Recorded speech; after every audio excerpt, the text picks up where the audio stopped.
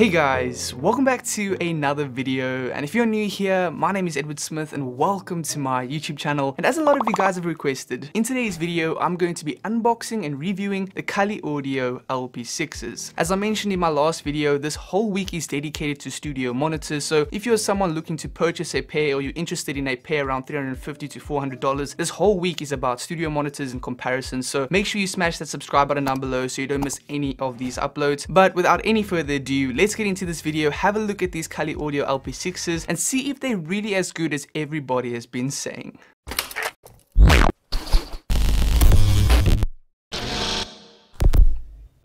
So when you unbox these studio monitors, you obviously get the studio monitor itself, you get your power supply and cable to power up the studio monitor, and then you also get some paperwork, which is not that important, but it does include your warranty. So if you just want to keep that in a safe place, that will be a good idea.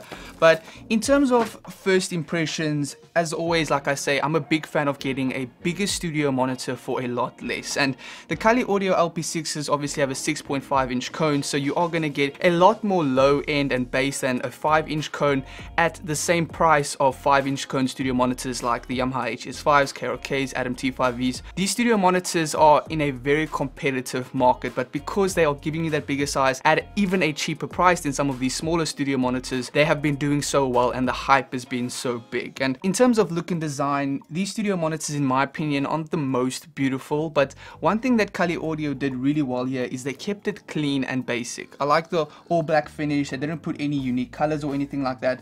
It's just straight to the point and all the focus is on getting a bigger size studio monitor with a decent look and getting it at a very low cost so that we can get these studio monitors in our home studio setup and afford them. So the whole look isn't amazing or anything at all, but I do like the bass reflex port here in the front. I like the layout and the design.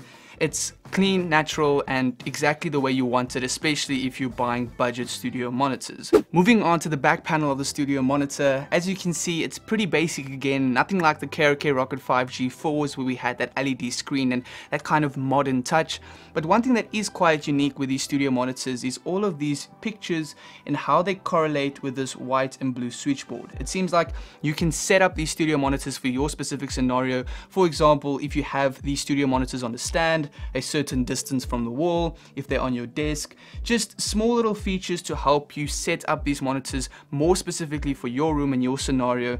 And I don't know exactly how well this works or how it works together, but it is a nice thing to jump around with and just see if you can get your room to sound better and have your monitors fit your situation better. And then other than that, we just have our TRS and XLR balanced input. Remember, you need to use balanced cables when setting these up. It's very important. Otherwise, it just doesn't work that well.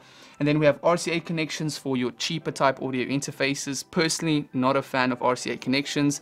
And then we have a volume knob over here, which isn't the best of quality, but when it comes to studio monitors, you're not going to be changing your volume that often. Usually when you set them up and take the time to do that, you're changing your volume, you're doing all of that. And then as soon as you got the right volume, you'll probably leave that knob for months before you fiddle with it again. And then last but not least, we have our input and our power on and off switch. So pretty basic, nothing crazy. You can see that Kali Audio is really focused on trying to keep costs down by bringing in all these modern touches and just really focusing on the sound and getting these studio monitors at a very low price and giving you a lot more, which I'm always a fan of. But before we jump to the big hype and conclude that these studio monitors are amazing, it is time to first do the sound quality test. And as you guys know, I do not like to do a sound quality test without comparing the product that we look at to something else because in my opinion, it just helps give you a better perspective whether or not these studio monitors sound better or worse. So for this specific video, I'm going to be comparing these Kali Audio LP6 to the KRK Rokit 5s. I'm just going to jump between them and then you can decide whether or not you think they are better because they are actually around the same price if not cheaper than these KRKs. They are bigger so you are going to have a little bit more low end but that's all for you to decide. Let's jump into that sound quality test and see how good they really are.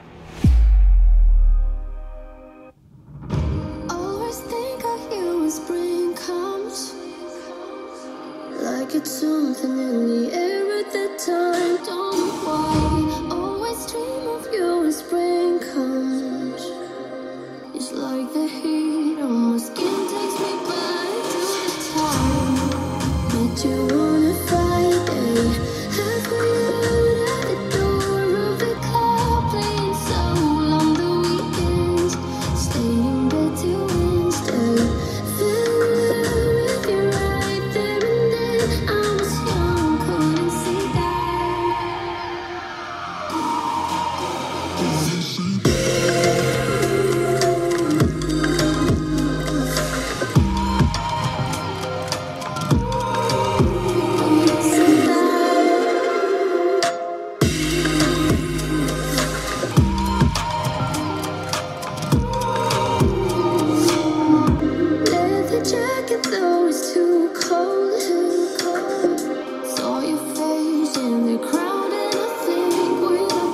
So for my final overview of the Kali Audio LP6s, I have to say that overall I am becoming more and more of a fan of Kali Audio. I love the fact that they focus mainly on the sound and trying to give you a lot more for a lot less. Yes, you're getting the 6.5 inch cone at a very good price, even cheaper than the KRK Rokit 5s and Yamaha HS5s and Adam Audio T5Vs, and the sound is definitely better in my opinion as well. You're gonna get that extra low end which is gonna help you get a better sounding overall mix. You're not gonna have to worry about getting a sub subwoofer anytime soon either.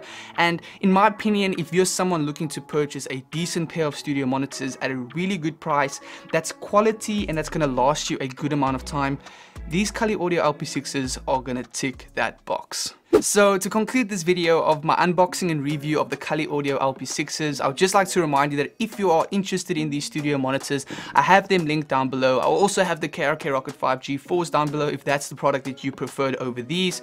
Also, if you have any questions about today's video, just leave a comment down below and I'll try and get back to you as soon as I can. But other than that, thank you guys so much for watching this video. Stay tuned for more studio monitor videos coming and I'll see you for another one next time.